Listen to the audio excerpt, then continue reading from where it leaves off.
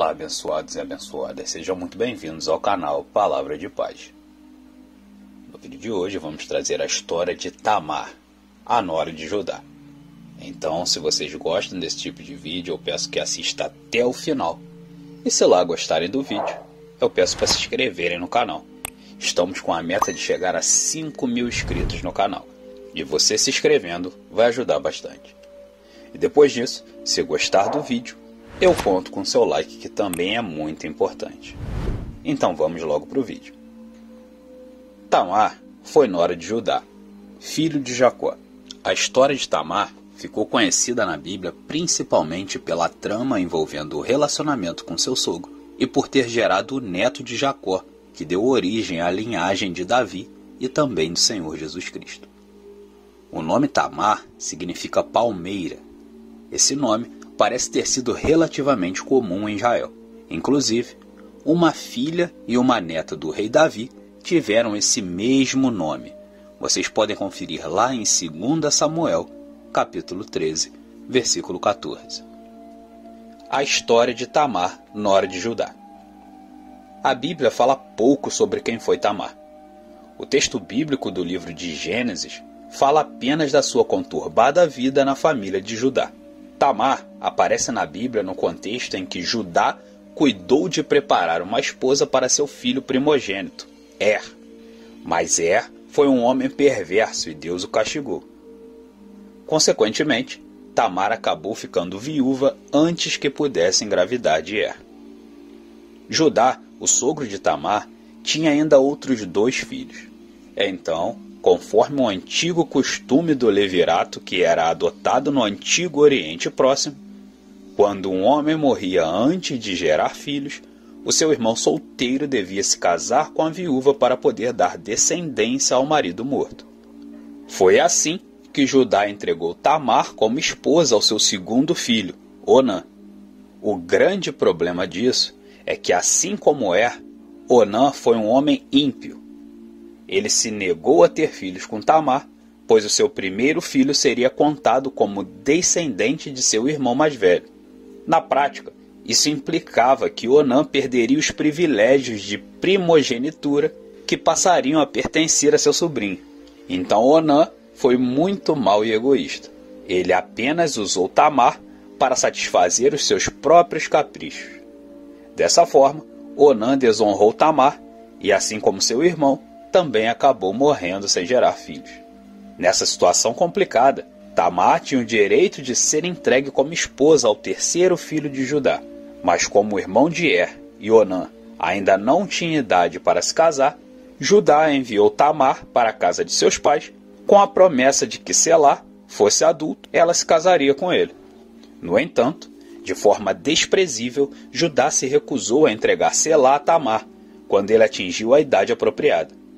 Na verdade, ele viu Tamar como uma causadora de desgraças em sua família, em vez de reconhecer a iniquidade de seus filhos.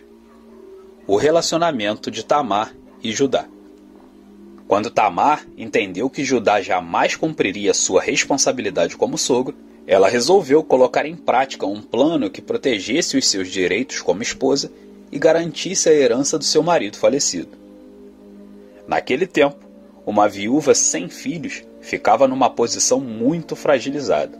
Então o texto bíblico diz que após a morte de sua mulher, Judá foi a Tima, onde estava ocorrendo a tosquia das ovelhas. No Antigo Oriente Próximo, a tosquia das ovelhas geralmente era associada a uma grande celebração com rituais pagãos. Inclusive, entre esses rituais havia presença de prostitutas cultuais. Quando Tamar soube que seu sogro estava indo participar da tosquia das ovelhas, ela enxergou nisso uma grande oportunidade de executar o seu plano. Então, ela trocou as roupas que a identificavam como uma viúva e se cobriu com o véu, para que Judá não a reconhecesse. Tamar se assentou à entrada de duas fontes que estavam no caminho de Tima. Quando Judá passou por ali e viu Tamar, pensou que ela fosse uma prostituta e desejou ter relações com ela.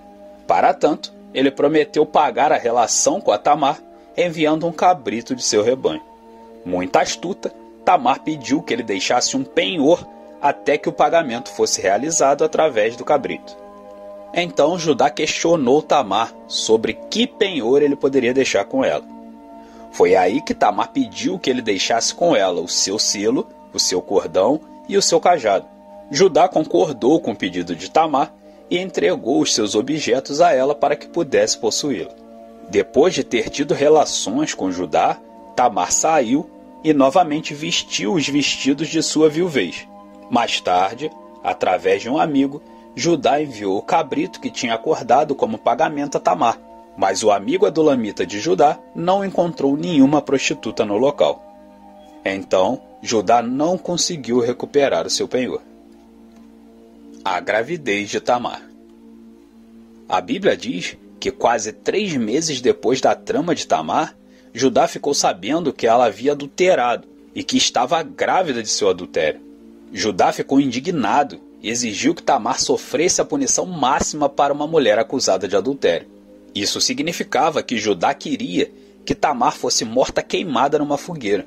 Mas antes que pudesse aplicar a pena sobre Tamar, ela mandou avisar seu sogro que ela havia engravidado do homem a qual pertenciam o selo, o cordão e o cajado que estavam com ela.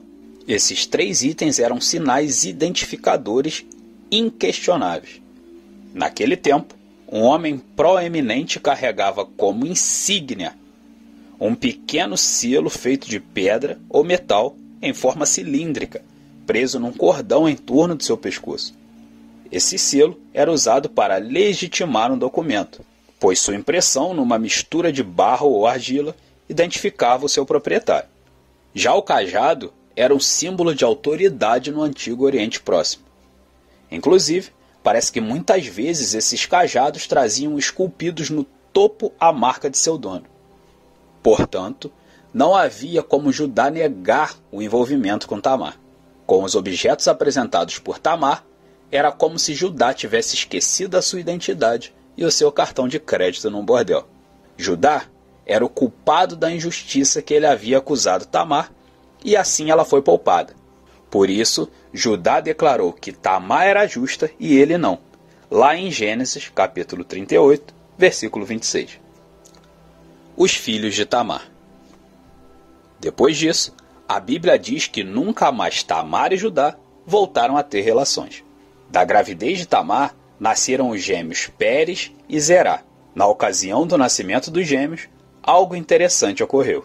Um dos meninos, Zerá, colocou a mão para fora e a parteira prendeu em seu pulso um fio vermelho para sinalizar o primogênito. Mas o menino recolheu a mão e o outro menino acabou nascendo primeiro.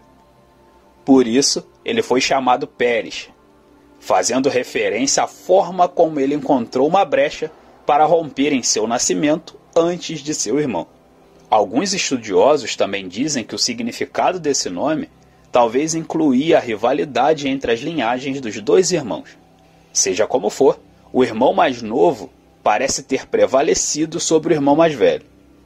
Embora alguns líderes de Judá tiveram sua linhagem estabelecida através de Pérez, sem dúvida, sua maior proeminência foi ter sido um ancestral do rei Davi e, consequentemente, do Senhor Jesus Cristo.